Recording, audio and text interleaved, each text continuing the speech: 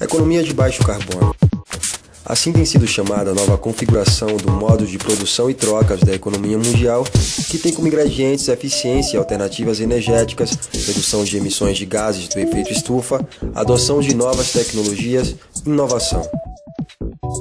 O pano de fundo da nova economia é a mudança do clima, que ao exigir estratégias de mitigação e adaptação, fundiu dois dos maiores desafios das empresas nas últimas décadas: a competitividade e a sustentabilidade.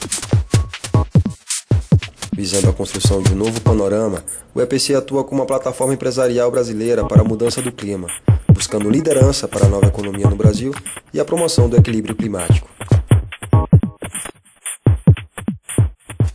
EPC Liderança para a economia de baixo carbono.